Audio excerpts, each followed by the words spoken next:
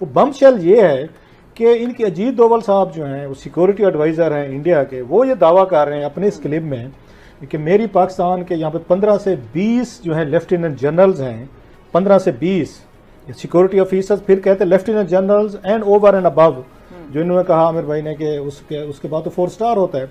तो मेरी उनसे कोई 12 महीनों के दौर में मतलब एक साल के मुख्तलिफ़ पीरियड में मेरी मुलाकातें हुई हैं। Last 12 months, I have met at least 15 to 20 top Pakistani security officials with the rank of Lieutenant General and above in different places and others. But I don't believe them, as I have never believed many Pakistanis. Ajit Doval की एक तकरीर मैं तो उनकी बात को मैंने कभी यकीन ही नहीं किया मैं वैसे भी पाकिस्तान की किसी बात पे यकीन नहीं करता अगर पाकिस्तानी सियासतदान मिलते भी हैं तो उनका एक बहुत बड़ा एक इशू बनता है बहुत बड़ी स्टोरी बनती है लेकिन ये अब पता चलता है नमस्कार दोस्तों, जय हिंद दोस्तों, स्वागत है आपका हिंदुस्तान स्पेशल एच डी के एक और नए वीडियो में। दोस्तों, भारत के नेशनल सिक्योरिटी एडवाइजर का बयान पूरे पाकिस्तान के अंदर में हड़कंप मचा दिया है। दोस्तों, भारत के national security adviser Ajit Doval का यह कहना है कि उनके पिछले 12 मंथ के अंदर में उनका 15 से 20 ऐसे पाकिस्तान के बड़े जो सिक्योरिटी हैं, यानी कि बड़े जो जर्नल्स हैं, उनसे उनकी मुलाकात हुई है। लेकिन उनका कहना है कि हमें पाकिस्तान के ऊपर भरोसा नहीं है और न ही पाकिस्तान के सिक्योरिटी के ऊपर, क्योंकि पाकिस्तान एक सांप है और हमेशा उसका डंक मारने का काम रहता है। इसलिए उसके ऊपर भरोसा करना हमारे लिए खतरा रहेगा। दोस्तों उनका यह बयान पाकिस्तान में इसलिए हड़कम मचा दिए क्योंकि उनको पाकिस्तानियों को डर है कि अजीत डोभाल ज़रूर कोई ना कोई आ, साजिश कर रहे हैं पाकिस्तान के खिलाफ वो भी पाकिस्तान के सिक्योरिटी के साथ में मिल के दोस्तों पिछले कुछ दिनों में भारत के बड़े बड़े ऐसे नेताओं ने पाकिस्तान को धमकियाँ दी है कि पाकिस्तान को अब हर एक धमकी से डर लगने लगा है, क्योंकि जिस तरह से पिछले कुछ महीनों में अमित शाह जी ने सर्जिकल स्ट्राइक की धमकी दी थी, फिर कल के दिन में राजनाथ सिंह ने धमकी दी थी, और आज अजीत डोभाल का ये बयान आया है। तो दोस्तों, इससे पाकिस्तान को सदमा लगने वाला है।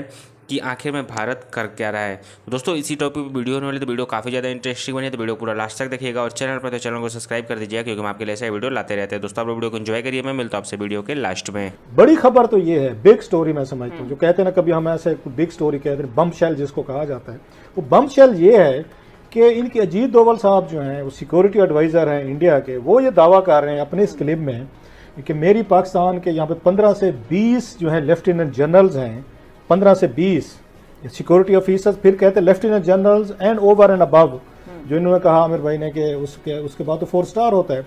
तो मेरी उनसे कोई 12 महीनों के दौर में मतलब एक साल के मुख्तलिफ़ पीरियड में मेरी मुलाकातें हुई हैं। सो माहौल उस वक्त सेट हो रहा था। अच्छा। अब इस बैकग्राउंड में ये चीज़ सामने आनी है अजीत दोवल की कि मेरी उनसे मुलाकातें हुई हैं जो पाकिस्तान की तरफ़ से कभी अनाउंस नहीं की गई। और अगर मुलाकातें हमारे लेफ्टिनेंट जनरल्स ने की हैं तो definitely G H Q might be on board वो ऑन बोर्ड होंगे और उसमें जो जो बता रहे हैं कि उनके साथ हमारी जो उस पर डिबेट हुई है दैट्स वेरी इंपॉर्टेंट वो ये बता रहे हैं कि हमारी वहाँ डिबेट हुई है और एक उनके साथ पाकिस्तानी जर्नेलों के साथ अजीत दोवल कह रहे हैं हम्म। उसमें हमारी एजम्पन जो थी एजम्पन है उन्होंने लफ्ज यूज़ किया इसमें क्लिप में ये थी कि ये ये अगर तालिबान आते हैं पाकिस्तान और और यहाँ से अमेरिकन चले जाते हैं उसके बाद का सिनारियो बता रहे हैं वो कि अमेरिकन विड्रॉल के बाद यहाँ तालिबान अटैक करते हैं तो फिर सिनारियो क्या होगा? सो अगर पाकिस्तानी सियासतदान मिलते भी हैं तो उनका एक बहुत बड़ा एक इशू बनता है बहुत बड़ी स्टोरी बनती है। ताने मिलते हैं उनको वो चाहे बेनजीर भुट्टो हो चाहे नवाज़ शरीफ हो और कल को इमरान खान साहब को भी मिलेंगे इनकी बारी के आने पे कुछ चीज़ें हैं। लेकिन ये अब पता चलता है जो मैं बार बार रिपीट कर रहा हूँ इस पे अब इस पे देखते हैं कि आईएसपीआर इस पे क्या अपना रिएक्शन देता है जीएचक्यू इस पे क्या रिएक्शन देता है नॉलेज में है नॉलेज में है कि पंद्रह डीब्रीफिंग हुई है कि पंद्रह ट्वेंटी के दरमियान लेफ्टिनेंट जनरल बहुत बड़ा नंबर है। Number it's a big number के पाकिस्तान के 15 20 lieutenant general again we are assuming उसने तो नहीं कहा लेकिन एक अंडरस्टैंडेबल सी बात है कि रिटायर्ड लोग भी से कहाँ मुलाकातें हुई हैं कि हम ले रहे हैं। सो ये पाकिस्तानी अवाम के लिए एक मेरी एक, एक, एक, एक थोड़ी सी रिक्वेस्ट है जज्बाती ना हुआ करें। जो दोनों मुल्कों के तोपे गन्ने हम ले के बॉर्डर पे पहुँच जाते हैं ट्विटर पे एक दूसरे की माँ बहन एक कर रहे होते हैं गाली गलोज पेट्रियाटिज्म का मुजाहरा कर रहे होते हैं लड़ ज़रूर पेट्रियाटिज्म भी करें।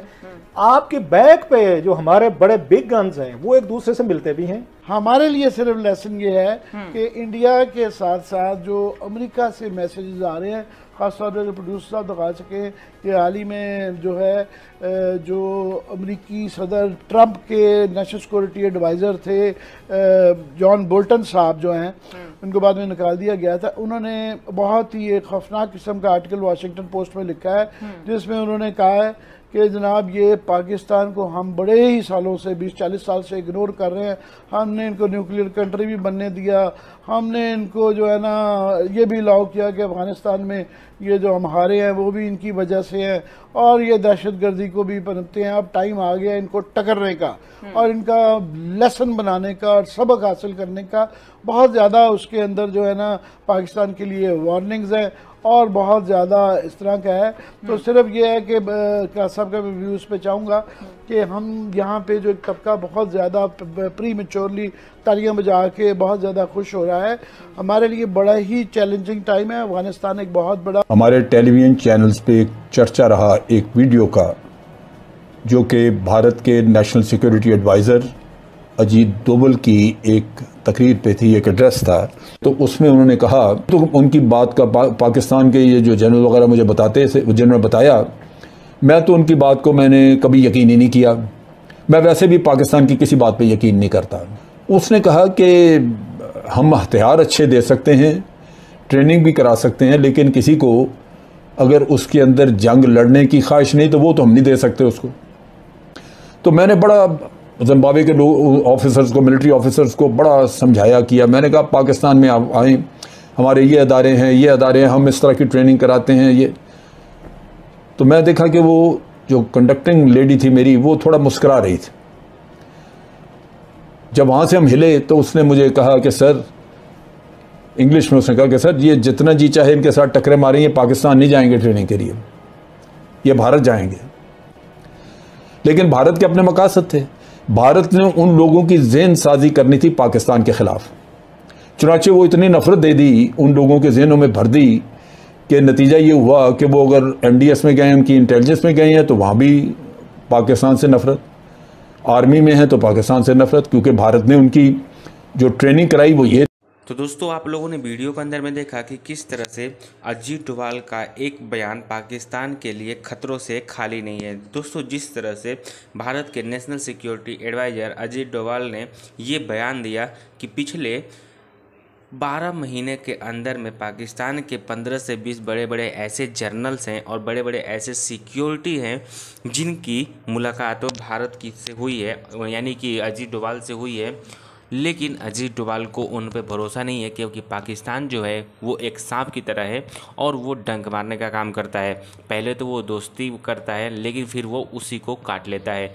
दोस्तों, हमेशा से पाकिस्तान का यही रहा है कि वो पहले तो किसी भी देश से अपनी अच्छे ताल्लुक बनाता है, फिर उसके यहाँ पर वो जिहाद और आतंक फैलाने का काम करने लगता है। इसीलिए भारत पूरी तरह से एकदम से सतर्क हो चुका है पाकिस्तान को लेकर क्योंकि पाकिस्तान हमेशा आए दिन जिस तरह से भारत के अंदर में अपने आतंकियों को भेजा करता है और पाकिस्तान जो हमेशा हिंदुस्तान के अंदर में हमले करवाता है, इससे अब पूरी भारत की जो लोग हैं और भारत के जितने भी नेता हैं, वो सब अच्छी तरह से जान गए पाकिस्तान की करतूत को।